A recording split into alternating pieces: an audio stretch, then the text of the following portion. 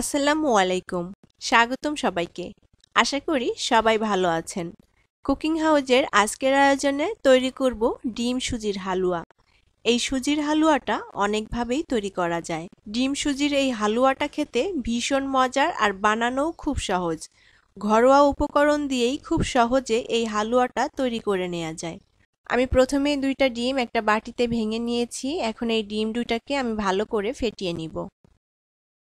চুলায় প্যান বসিয়ে হালকা গরম করে নিয়েছি। এখন প্যানের মধ্যে দিয়ে দিব দুই টেবিল চামচ ঘি। ঘিটা দিয়ে এখন আমি এর মধ্যে দিয়ে দিব এক কাপ পরিমাণ সুজি। আমি এখানে অল্প করে হালুয়াটা তৈরি করব, তার জন্য এক কাপ পরিমাণ সুজি নিয়েছি। আপনারা যদি বেশি করে তৈরি করতে চান, তাহলে সুজির পরিমাণটা বাড়িয়ে নিতে পারেন। সেক্ষেত্রে ঘিয়ের পরিমাণটাও বাড়িয়ে নিতে হবে। এখন সুজিটাকে আমি ঘিয়ের সাথে খুব ভালো করে ভেজে নিব। অনবরত নেড়ে চেড়ে সুজিটা ভেজে নিতে হবে যাতে সুজিটা পুড়ে না যায়। আর সুজির রংটা সাদা রেখেই ভেজে নিব।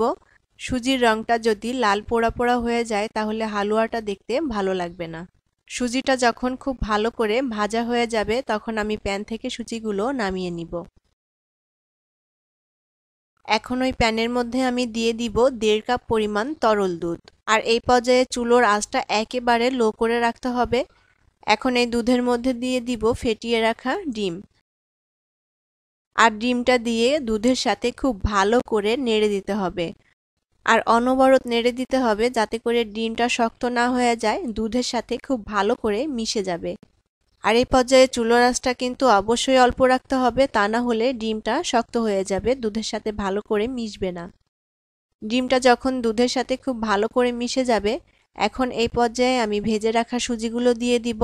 আর সুজিটা দিয়ে অনবরত নেড়ে দিতে হবে যাতে করে সুজিটা দলা পেকে না যায়। ভালো করে নেড়ে চেড়ে দুধের মধ্যে সুজিটাকে একেবারে মিলিয়ে দিতে হবে।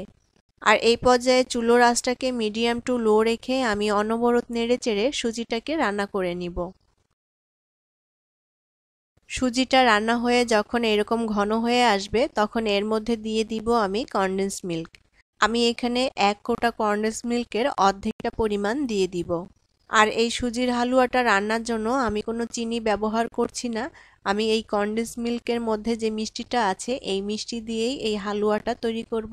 আপনারা যদি কন্ডেন্স মিল্ক ব্যবহার করতে না চান, তাহলে এর পরিবর্তে চিনি অ্যাড করতে হবে।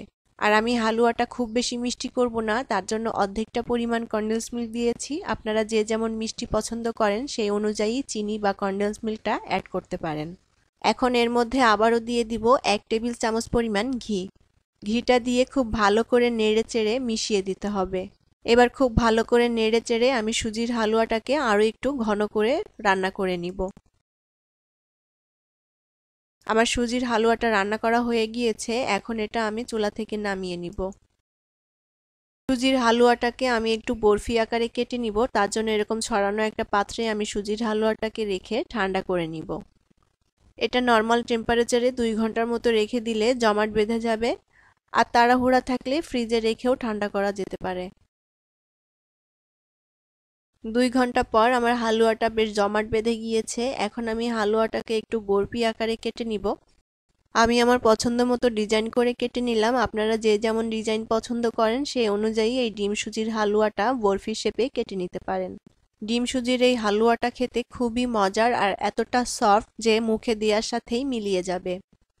আশা করি আমার আজকের রেসিপি আপনাদের ভালো লেগেছে। আর রেসিপি ভালো লাগলে অবশ্যই আমার চ্যানেলটি সাবস্ক্রাইব করবেন। আর আজকের ভিডিওটি ভালো লাগলে ভিডিওটি শেয়ার করবেন এবং ভিডিওতে একটা লাইক দিবেন।